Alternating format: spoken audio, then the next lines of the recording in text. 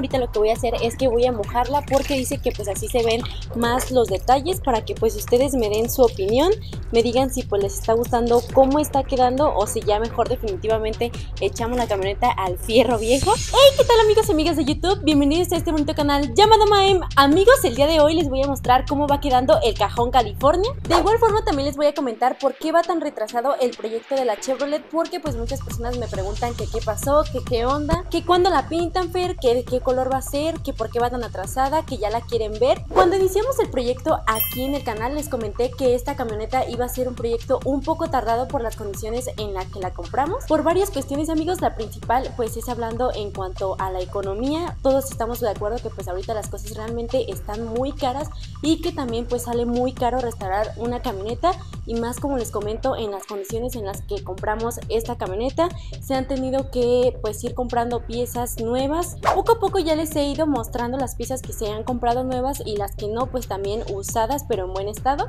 La segunda cuestión amigos es que al menos aquí donde yo vivo hay muy pocos ojalateros y los que hay pues están muy saturados de trabajo. Entonces este pues cotizamos con varios ojalateros y todos coincidían en que me la tenían más o menos de 3 a 5 meses aproximadamente pero pues me decían que este, que se las llevara de aquí a medio año o que ellos me hablaban cuando ya o que les sacara cita. El ojalatero que pues actualmente está trabajando la camioneta pues es muy buen ojalatero, es muy buen pintor, pero pues con él llegamos a un acuerdo, el cual fue el siguiente, como también pues él estaba muy saturado de trabajo, me dijo que pues sí me la iba a pintar, que a lo mejor pues sí se iba a tardar unas semanas porque pues este también él tiene otros compromisos. Entonces en lo que quedamos amigos es en lo siguiente, en que en lo que él termina el otro proyecto va a estar viniendo cuando tenga chance. Ya una vez terminado el otro proyecto, ahora sí va a venir a dedicarse completamente aquí a la camioneta. Ahora sí amigos, vamos a lo que vinieron a este video, a ver cómo está quedando el cajón California, porque de hecho es a lo que más ahorita se está dedicando el ojalatero.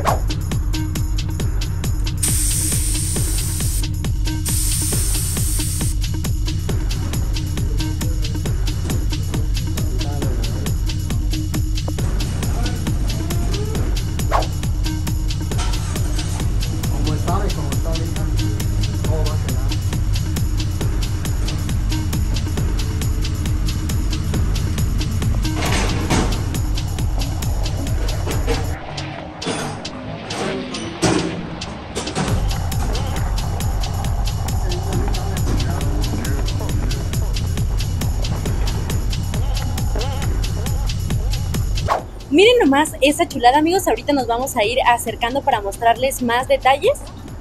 Ahorita estaba tapado el cajón amigos, pero déjenme este, lo limpio para que ustedes vean cómo va quedando.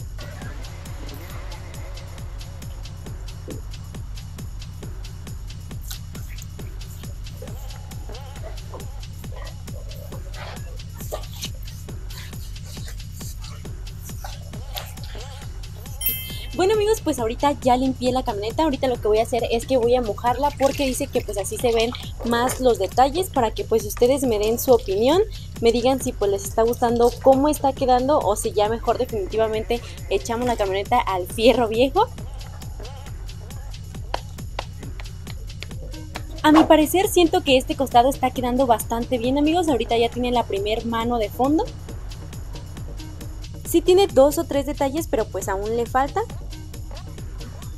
Por la parte de adentro también ya aplicó fondo, como pueden ver, este pues ya le sacó un poco de detalles. Esta es la parte que va pegada a la cabina, como pueden ver también ya arregló unos pequeños detalles. Por aquí tenía unos hoyitos y pues por aquí ya los tapó. Este es el otro costado por la parte de adentro amigos, como pueden ver también ya lo está detallando. A mi parecer pues siento que está quedando bastante bien. La parte interna de la batería, amigos, también va a ir pintada del mismo color de la camioneta. Ayer llovió y como pueden ver ya empezó a oxidarse, a lo mejor al rato la limpien. Y así va la cosa con la camioneta, amigos. La verdad es que a veces sí me desespero y ya quisiera que ya estuviera, pero pues es un proceso y pues hay que esperar. Respecto a la pregunta que me hacen mucho, amigos, que de qué color va a ser la camioneta, me gustaría pues dejar un video este, en el cual hablara específicamente sobre eso. Pero pues sí les puedo adelantar que me gustaría que fuera este, blanca, negra o roja. Yo sé que pues muchas personas me van a decir que pues son colores muy comunes este, y me van a decir que pues tenga un color así como muy fosforiloco, muy locochón. Estaría padre amigos, la verdad es que pues hay colores muy chidos, pero pues también hay que pensar en un futuro.